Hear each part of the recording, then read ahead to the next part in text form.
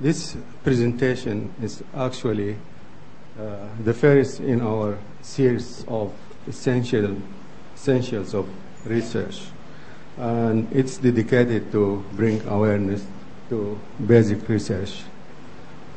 Uh, I have chosen the title of just a blank basic research, uh, the path from exploration to human benefit. And I intentionally omitted animals from the benefits that people gain from research just to bring awareness. So it should read like uh, the path from exploration to human and animal benefit. So what is, what is biomedical research? It is the area of scientific, of science devoted to the study of the processes of life, the prevention and treatment of disease, and the genetic and environmental factors related to disease and health. This is the broader definition for biomedical research. And in fact, there are uh, several categories of categories of uh, biomedical research, which is uh, number one is uh, which is the subject of our talk today is uh, basic or pure basic science research. There is applied research, and there is clinical or translational research. These are the three categories of categories of biomedical research.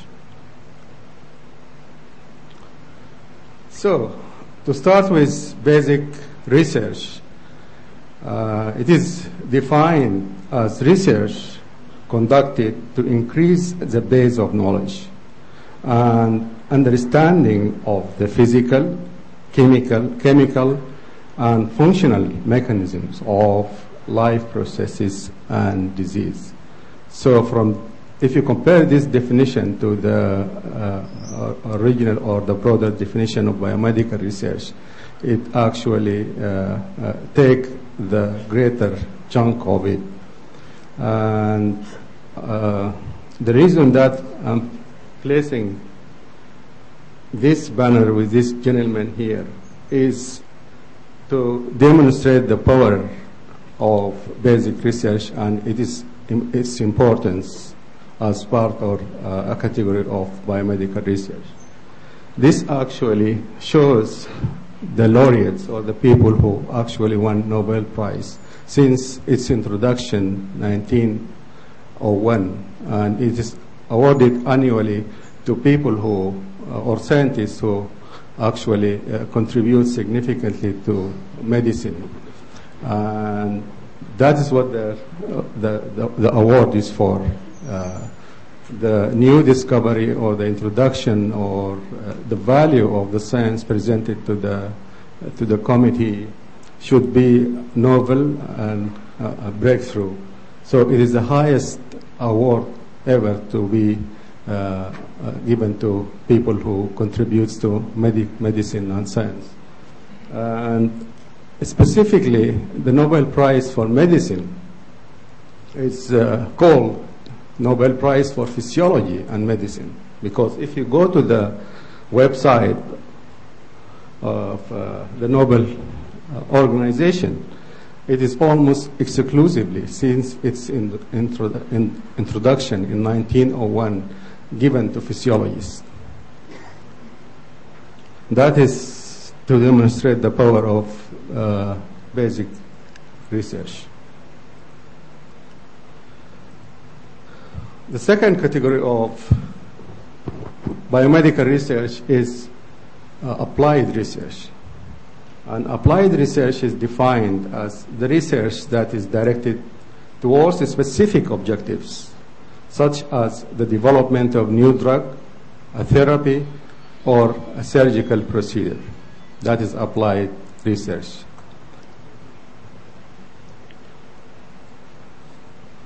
And the last category is clinical research or the so-called translational research.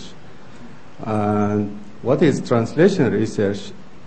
It is using the knowledge gained through basic or applied research to conduct research generally with humans in treating disease or dysfunction in a new way, not the conventional way.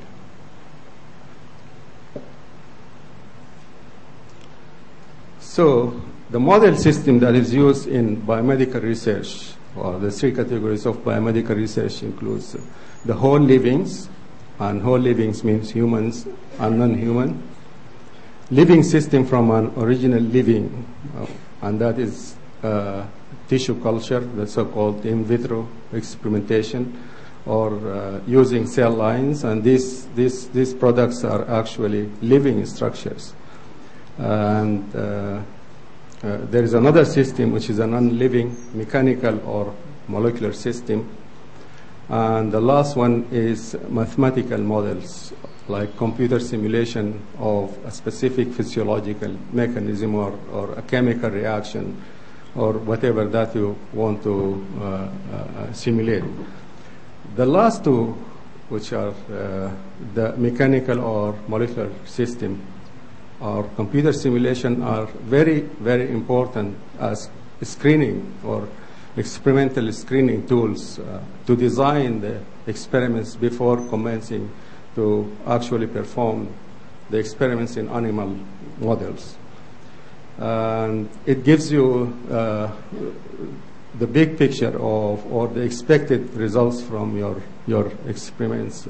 Uh, and uh, the, the, the problem with this is the limitation of using, uh, for example, computer simulations. There are a lot of softwares now uses in the clinical setting, for example, in, in dialysis patients. Uh, there's, there, this, there is this magical uh, software which you give the patient uh, a, a, two liter box of dialysis solution and tell him that you instill this, this, this bag in your belly at 6 p.m. and at 7 uh, o'clock in the morning you drain it and I, I want to see uh, the drain the drain volume is, should should be actually, uh, uh, uh, exactly like 2 liters and 103 milliliters and the patient will come in the in the morning with the drain fluid, and it's exactly two liters, 103 milliliters. So he would think, oh, this is this this must be a genius fellow uh, to to predict the out the the drain volume up to the uh, third digit or something. So uh, this is the, the, power of uh, math mathematical models, but it is not in any way an alternative to experimenting in, in, in animals. Because uh, the evolution of these mathematical models requires, for example, local tissue parameters that you, you, you build up in the mathematical formula uh, that you use to develop the software. So, uh, from this introduction, it seems that the best way, the best way to do research is a multidisciplinary and involvement of all categories of, of, of, uh, of biomedical research in one large body or program for the institution to go forward with its research endeavor. So there is no separation of clinical research, applied research, and basic science research. So all of these subcategories should, should feed each other and should generate research questions that can be uh, tested preclinically in basic research. If you get the answer, that will be nice.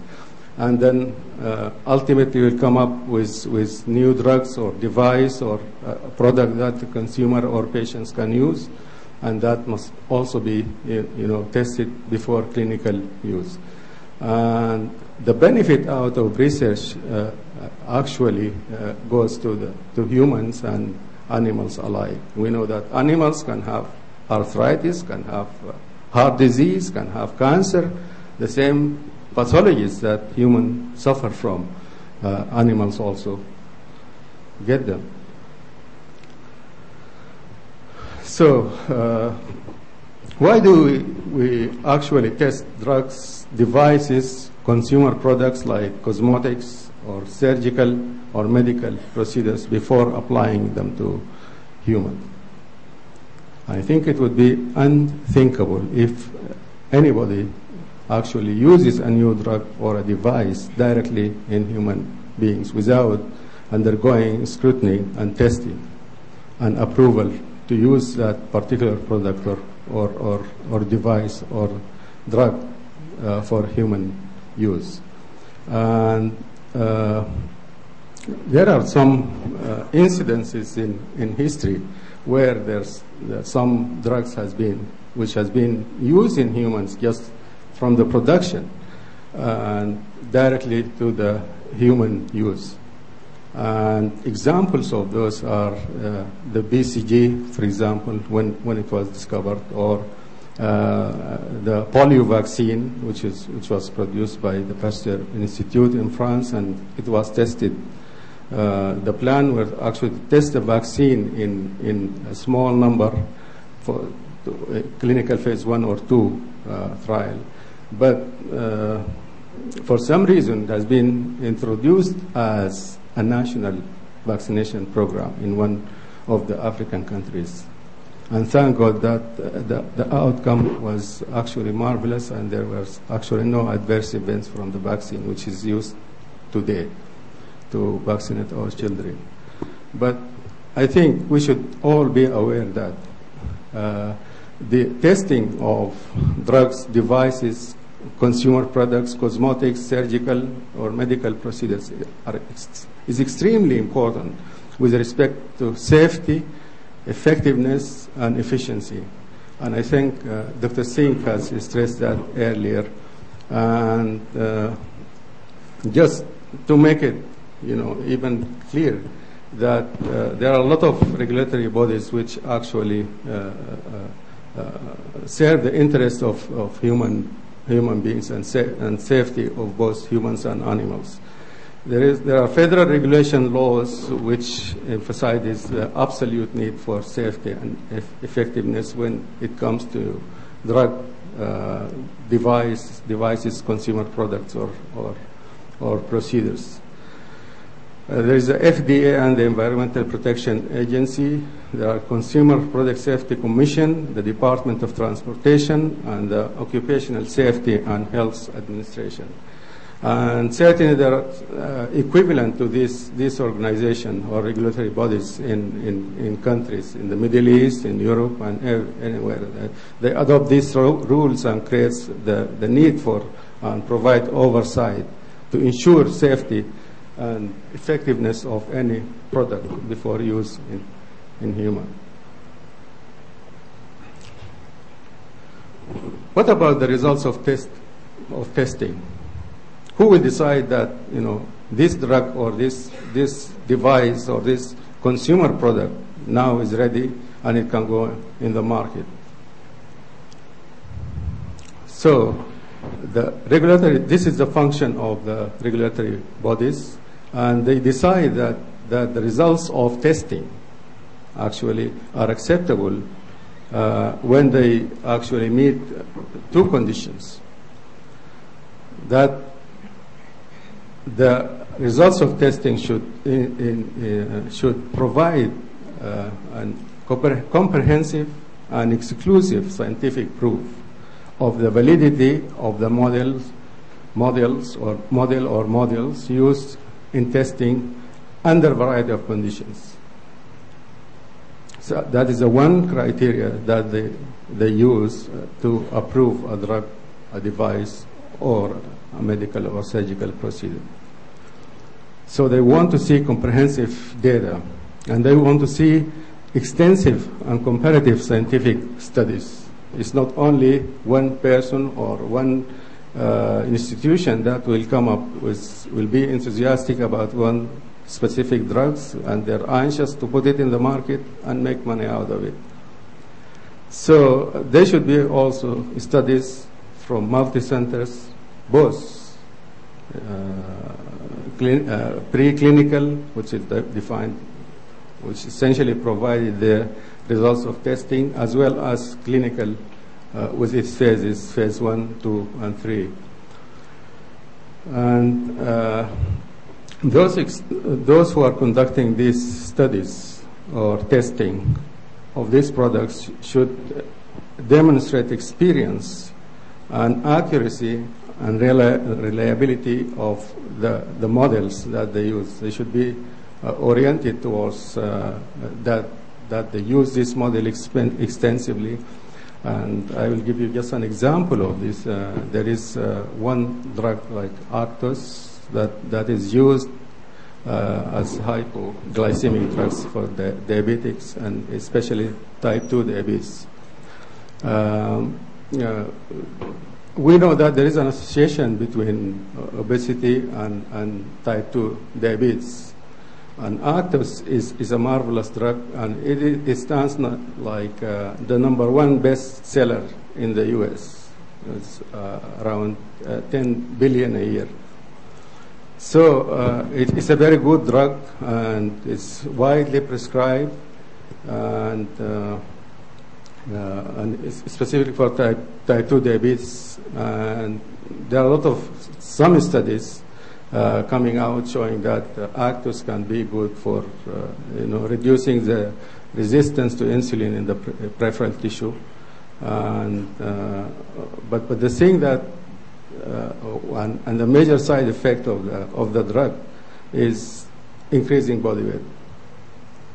So it's ir- ironic that that you know you give a drug to patients, and typically these patients are you know as I said they're overweight or, or they're obese, and at the same time they're diabetics.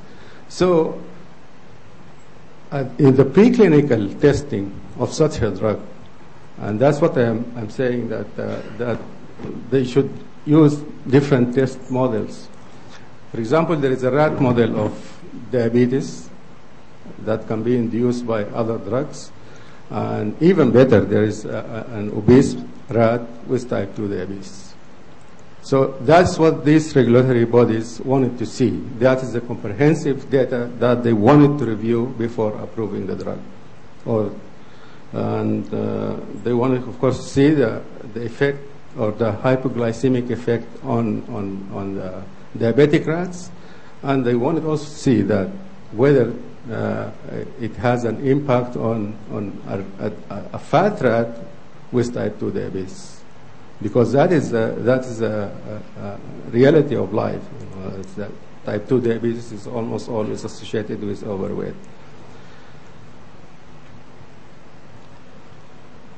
So, going back to the basic research instead of, you know, I, am trying to focus on, on, on just basic research because other colleagues, they, they uh, give uh, extensive talks about the, uh, and there will be some talks about the ethics of conducting research coming up.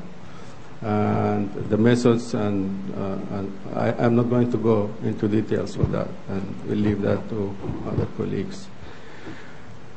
So, what are the pros of basic research? Basic research is uh, critical for conceiving a sound and testable hypothesis or research question. People talk a lot about research questions and how to formulate a good research question in clinical research, and it's not different either in, in uh, basic science research. But it gives you an edge of to formulate really a good experimental uh, uh, question or hypothesis that you can test in different animal model or animal models or in vitro or by computer simulation. So you have the power or you have the tools or the research tools uh, available to you to really come up with, with, with very narrow, very focused research question or hypothesis in basic research. It is crit- critical for testing procedures, devices, and new drugs for safety and effectiveness. It's coming again here. So, uh, and this is the requirement of the regulatory bodies. And uh, it, it, it, before going into translational research, it has to go through this time-consuming uh, testing and regulation procedures. It is crit- critical for mechanistic studies and disease processes. Without studying the mechanism of the disease or the pathophysiology of, of, of the disease, uh, you won't get any information or insight without getting this information from models in, in animals. And this is the only thing that, uh, and the only way to know about uh, uh, the, the mechanism or the pathophysiology of, of any, any disease. is in animal models. And uh, in addition to that, uh, it provides you with uh, control over experimental design and environment around, around the animal. And with that said, uh, you can, we, we know that the uh, mice or, or, or, or, rats, they don't live to uh, getting 60 years old or something like that. They have very short life span, and their expected life span is within the range to assess a drug or, or a procedure or anything or disease process during the whole lifespan. So that is, that is, that is extremely powerful tool to, to use uh, to, to study uh, mechanism or, or pathophysiology of diseases. You can control the temperature, for example, of the animal. You, you can lower the blood pressure if your experimental design required that. You can have hypertensive uh, animals if, if, if, if you want to see the, to look at that association within the pathophysiology of the disease that you are looking for. So it is ext- extremely versatile uh, model that you can use to, to look at different uh, aspects and pathophysiologic processes and mechanistic uh, approaches towards understanding disease processes and devising treatments or interventions accordingly. And it is, it is just a continuous process of learning and feeding into the system of getting to know new, new, uh, uh, new insights uh, or new ideas in, in research, and all goes at the end to benefit humans and animals alike. And in addition to that, uh, the last thing that I wanted to mention is, uh, uh, is about the process of basic research. That it, it provides better research productivity and publicity. And it is powerfully, this is powerfully demonstrated by the quality of basic science research compared to other, other applied or, or, or, uh, or clinical research. And you always get, uh, you know, uh, basic science uh, papers, uh, specifically in physiology or, or, other basic science discipline, preclinical sciences, uh, published in, in very prestigious journal, getting all the prizes in medicine uh, possible. You don't see that frequently in, in clinical trial, in clinical studies. Though we love to see that because that is the objective of, of us working in basic science research, and we, we, we wanted to, to see that with clinician, uh, you know, coming with ingenious techniques, uh, uh, you know, absorbing the knowledge uh, from basic science and from applied research and adapting them to, uh, you know, just to think differently uh, rather than uh, what, what they have been told in books and, and, and what they have learned through their, you know, medical experience and medical education. So, uh, again, to emphasize the importance of basic science research, I, I will just uh, try to, I will try to show you that uh, this data, which is compiled from the New Jersey Association of Biomedical Research, and they wanted to just send a powerful message that there, in history of medicine, there are uh, really uh, milestones uh, in the evolution of research and, and, and medicine. Uh, so here, starting with 1900s, there is a discovery of the treatment of rabies, which was being uh, developed in dogs and rabbits. There is a treatment for anthrax, beriberi, and chicken, and smallpox, which is now eradicated. But uh, the, the, treatment for it was was ex- uh, experimented and produced from uh, basic research in, in cows. There is plagna, RH, monkeys and dogs, rickets, cardiac catheterization, you know, uh, cardiologists and, and, and people who are performing the, this important procedure, which is really a milestone in, in, in the treatment of, uh, in the cardiology service. So they learn that in dogs and rabbits. Without using experimental animals, it would have been, never been possible. There is a discovery of thyroxine in many species and insulin in dogs. There is a prevention of tetanus, anticoagulants, and modern anesthesia. And these are real milestones because, you know, who would imagine that you can perform surgeries, uh, surgery without anesthesia or without anticoagulation. That are very, very important. Uh, and the list goes on and on for the real milestones with, with this. Uh, there is a discovery of the treatment for whooping cough, rheumatoid arthritis, and then in the 40s of penicillin and other antibiotics, streptomycin, RH factor, prevention of poliomyelitis, open heart surgery, discovery of DNA, chlorpromazine and other tranquilizers, cancer therapy, prevention of rubella. This all came from basic science research and experimentation in animal models.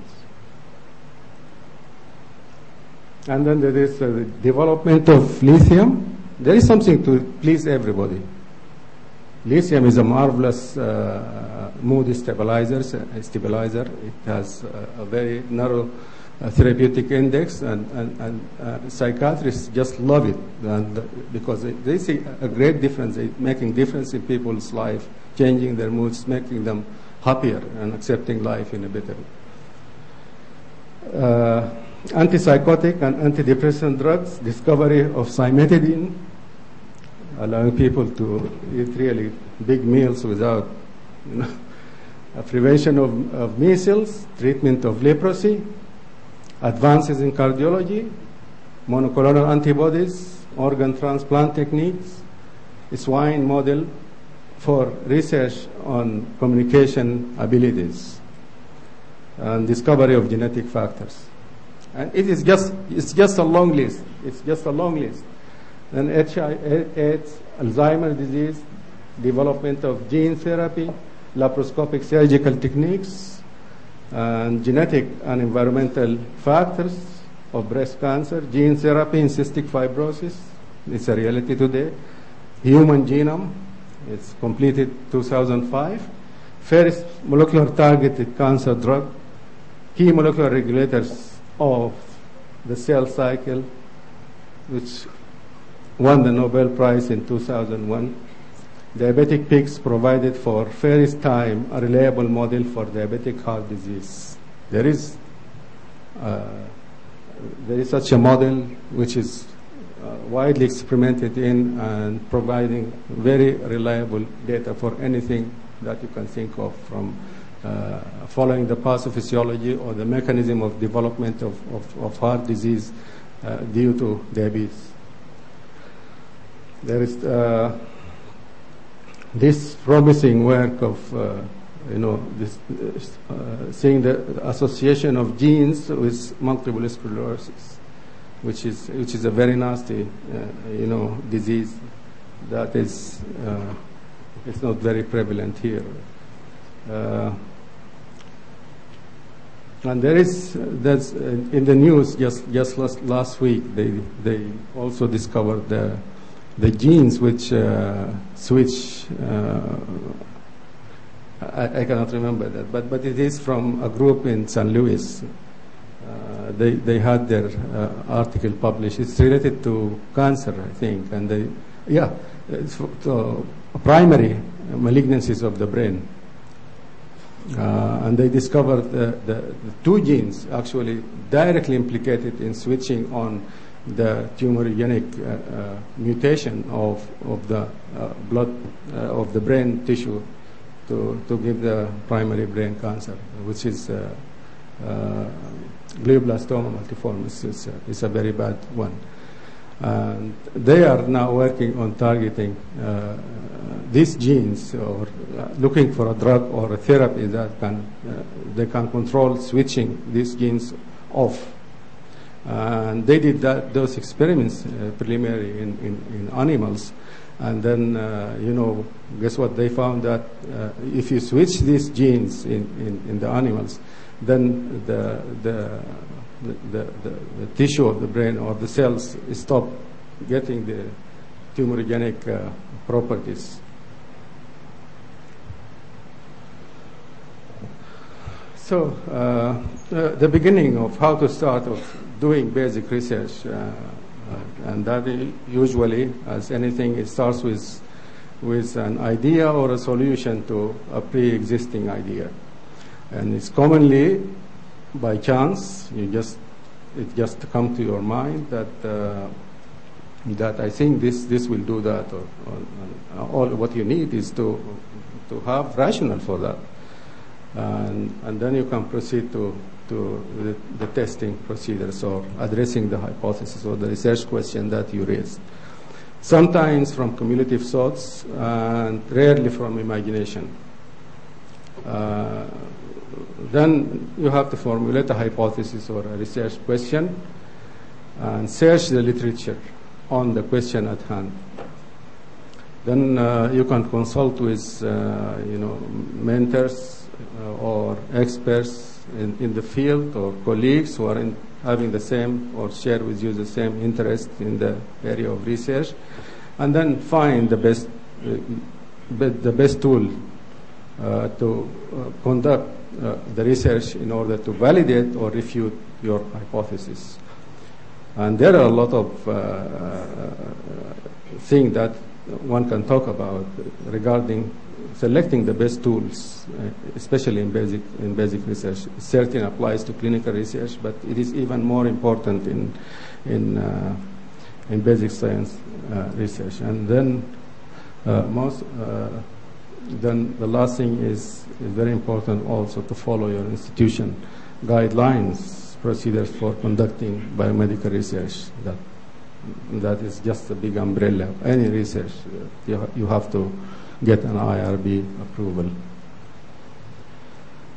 Uh, when it comes to uh, basic science research which involve uh, uh animals, I just want to emphasize on, on, on the ethical part of, of conducting such, such, a research and put it in, in, in a very simple format or concepts which is the so-called uh, the, the, four R's of uh, the three R's of research.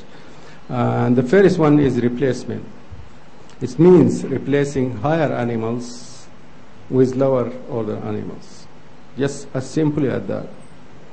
And uh, anybody who actually experienced or, or did some research on, on, on primates, for example, will really get this message loud and clear because you, you get an instant association to the animal when, when it is in a higher order. If it is a pig or a monkey, it just cries like anybody of us who get hurt or get stressed. Very, very clear. So you wanted actually to, to move away from, from higher order animals, uh, which are really exactly like us, but there are only few things in, in judgment and, and, and that, that was it. So replacement doesn't mean at all that you should not do uh, experiments in animal. No, on the contrary. But there are some people who actually advocate, advocate animal rights that is equivalent to human rights. Those are people who are going to the extremes, who love their animals and, and consider their animals as, as, as part of the family. But we are talking here about animal welfare, not animal rights. Okay. There is a, the, the argument that the animal advocates are, are, are, are uh, forwarding is, is that uh, we human beings give ourselves the ultimate authority to do with animals or other species whatever that we want to do with them. And it is true, but at the same time, you know, their argument that, that we gave ourselves to kill these animals and eat them. We gave ourselves the different, you know, entertainment for hunting these animals. We gave ourselves the right to uh, take their skin and protect ourselves from, from uh, cold, take their fur and look, look nice. We give ourselves to exploit these animals like the dogs for trained specifically to help the blind. And the list goes on and on. So there is an exploitation, uh, but this is actually a philosophical, uh, you know, point, and I, I really don't want to go into the details on, on, on, you know, the discussion whether that is right or that is wrong, because there are so many people who are passionate about this matter, and the only fact that we know that we cannot uh, uh, do research without using the animals. I mean, and the benefit of that will go to both of us, uh, humans and animals, to the same level. That is a fact, and we, uh, I, I think, we are not going to go away from this fact anytime soon. And if we can develop models that we can test that are reliable, that produces reproducible results, and that will be perfect. But the fact of the matter that we cannot, at this day, at this time, is still early for that concept. Then the other uh, R is relates to reduction and means minimizing the number of animals needed to perform an experiment to teach a concept or, to, or research, produce research data. And that uh, also relates closely to the design of the experiment. The design of the experiment. If you, you come up with an idea and then uh, you do a pilot study, which is always, always uh, recommended before you know, asking your IRB uh, that uh, I am going to do research in, in, in, in, in blood pressure or hypertension in animals and, and testing this new drug or this procedure or whatever. And then I need 150 animals. Okay? They are not going to grant you this number of animals. That is to start with. And then you have to do your work your homework and really do a pilot study, uh, not uh, you, you, know, give yourself all the means, all the chances, think it over once, twice, tens, and it, always improve, improve the idea or the hypothesis and make it as narrow as you can. And then it's always better to test the hypothesis. If you can produce the expected or expect results which tends to be positive from five animals, that will be it. You don't have to kill another 40 animals. So if you just plot your data and see that you know you don't have to do, you just visually see the data. One line is going up, another line is going down. There is no power, uh, powerful statistical analysis than this. You don't even have to calculate p-value or whatever. One is going up, the other is going down. That is that's the message. So, and then there is a refinement, which means refining the experimental protocol to minimize pain and distress whenever possible. And this is extremely, extremely, extremely important. And it, it will, uh, it, these, these three factors, these three R's are, uh, are really uh, closely related to each other. And then they will ensure that, you know, that you, you will come up with, with very nice data. I, I have to tell you here that, that I had one of the students who came to my lab and we, we are doing microcirculation experiments. And each student who is in this field of research, they have a different learning curve. So there are some people who are very good at it. They have very nice hands, and, and, and then they just get it. One week, four or five animals, they know the technique, and then they can do the experiment. There are some other people who are really, you know, they take time to, to get there. To reach, you know, approximately uh, uh, 60 to 80 percent productivity means that 60 percent of the time or 80 percent of the time they have a chance to produce data from that animal. Okay?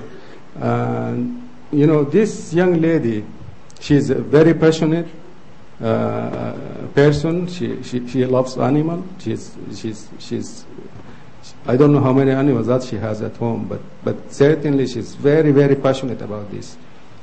And then she came to the lab and she was doing these microcirculation experiments. And we have experience with so many other people who are doing this. Some of them they are surgical residents, some of them they are medical residents, some of them they are, you know, uh, just students coming to do uh, a short uh, protocol and get some publications or get themselves ready to apply to medical school. So it is a diverse, uh, you know, uh, uh, pool of people.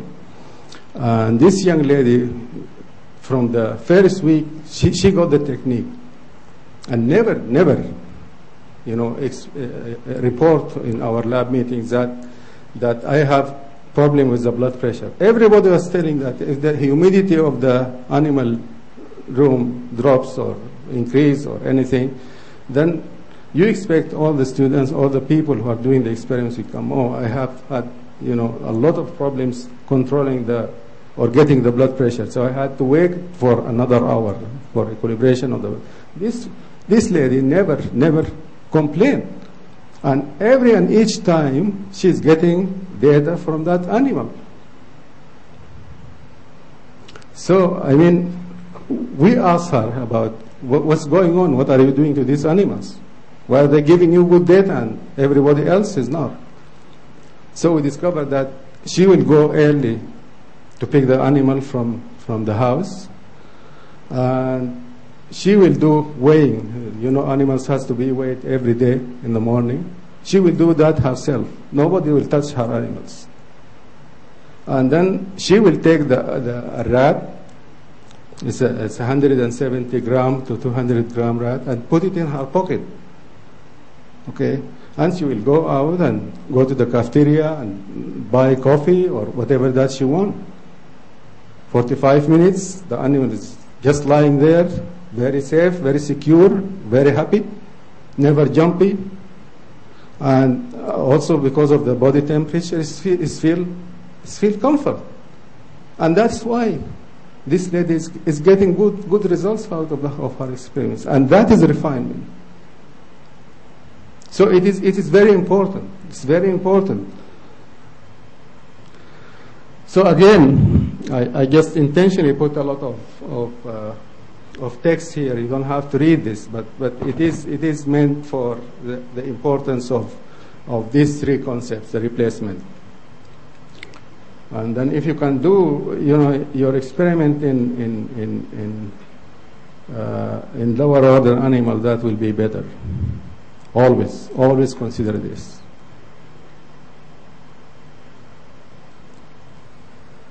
Then again, here the same intention. It's a lot of text that you don't have to go through. And uh, reduction, it will, uh, I just try to highlight some buzzwords of, of this, uh, like performing pilot studies uh, will ultimately uh, reduce animal, the, the number of animals that is required to perform specific protocol. and then it comes also from the design of the experiment that if you utilize, utilize the animal to stand as its own control, you don't have to, you have different groups of animals. This is control, and this is we're going just to cannulate the and obtain blood pressure from uh, from from control animals, and the other group will undergo this or that. Or so you always try to make your experimental design for each animal to stand as, as, as, as its own control. And that will also minimize the number of animals. that you try to, to get also maximum amount of information uh, from each animal, the maximum that you can get. Unless there is some limitation in your experimental design. For example, you have a mouse and you are taking blood sample from that mouse to assess something. Okay? There is no, I, I mean, if you can take uh, tissue from that as well, from that mouse, which is not stated in the protocol, but you put it in your mind and, and, and try to maximize the number of information or you get from that particular animal. Instead of, you know, the next month you do the same experiments, you ask for the same number of animals, and then you say, oh, this time we're going to collect tissue. You could have saved, you know, time to collect uh, tissue, blood, or whatever from the Ferris protocol. And that is, should be always in mind. Then, uh, consulting with statistician to use only the number of animals uh, required, and that is that it doesn't really help you much in, in basic research other than clinical research. And, uh, Dr. Singh was talking about this uh, sample size calculations and all that, that thing. So it is, of course, relevant, but you can you can do that through pilot studies or, or uh, maximizing the number of to reduce uh, the number of animals. Then minimize the variables such as disease, stress, diet, genetics that may affect the, your experimental uh, uh, uh results. And, and, the example that I, I, gave about this young lady, I think is uh, very powerful. And do the literature search, of course, that is always rule of thumb in, in research, either clinical or in all biomedical research, in fact. And they use, use the appropriate species of animals so that useful data can be collected. Uh, we don't, for example, do research on toad bladder because there is toad bladder. So we, we do research to, to find new things through you know, the minimum number of, of animals, uh, try to uh, maximize whatever data that you, you get from the animals. And, then replacement whenever possible. And whenever possible because I know that it's not possible today. But it might be tomorrow, and that will be a marvelous thing.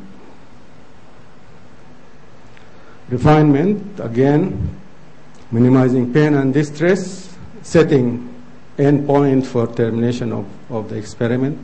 If you're having, uh, uh, you do, doing an experimental protocol in, a, in an animal and that, that causes immense and increasing pain and distress to the animal, then you have to have, you know, ethically, you have to set a point for uh, sacrificing that animal. There is no point of, of uh, you know, continuing was watching the animal, you know, suffering and, and, and getting this pain and distress.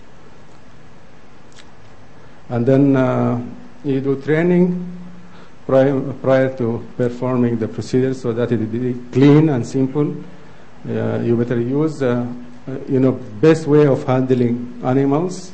There, there are some animals that do not like you to hold them by the head, or except for the rabbits maybe and there are animals that do not like or do not appreciate holding them by the belly because you don't know how pressure that you, you put to the animal and, and that thing. So this is this animal husbandry thing. It will come if you start to do your experiments on, on animal handling. And then you make sure that the drug doses are appropriate and drugs are not expired. There is no point that if you are not giving drugs to humans, expired drugs to humans, then there is no point to give them to animal either. And, and ensuring that procedures that is performed is reasonable to the to the species. And an example to that, rabbits. Rabbits are extremely, extremely sensitive and jumpy animals. It is enough to shout on a rabbit in a closed room and the animal will be spontaneously hypertensive. You never get the blood back to baseline. So there are a lot of things that you, you, you consider and, and uh, you see whether that procedure that you are going to do to the animal is appropriate or not. Then use analgesics and anesthetics. Of course, that is a reasonable thing. Uh, then perform surgeries under aseptic conditions. Basically, you do the same thing that you are doing to your patient to the animals. And the same service that you are giving to the patient to alleviate their suffering, their pain, and you, you have to be human also to the animal. And that is very important. And then post-surgical care, of course, exactly like animals, uh, like human beings, they, they need that. If you are giving people painkillers, the animal deserve to have that. And if they need close attending, the animal certainly deserve to have that. So we had some of the experiments that we, we, we, we are, are you, you, know, when, when we are trying to give intraperitoneal chemotherapy to uh, animals with pelvic abdominal tumors. And we wanted to measure the penetration of, of, of, the, of the chemotherapeutic agents into the tumor tissue. And that we varied the time because uh, the, the, the, the penetration varies proportionally with the intraperitoneal pressure and the time of exposure. So in one of the groups that we thought we will observe these patients at a nominal intraperitoneal pressure for 24 hours. Then we, we submitted the protocol and then the IRB, the first question is stopped right there. Who's going to be with the animal 24 hours in the lab. We need names and uh, we need dates, and it's absolutely to be followed if this protocol is, is to be uh, approved. And so that was it. So it is very important. The same procedures that you are giving to humans, you give them to the animal. If you want to get something back out of these experiments. Thank you.